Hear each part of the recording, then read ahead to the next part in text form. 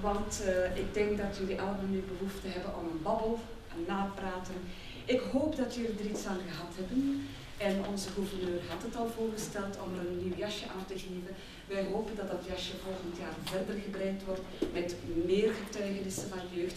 Nu dat jullie weten hoe het eigenlijk allemaal kan, hoop ik natuurlijk dat de jeugd zich ongelooflijk nog verder evolueert.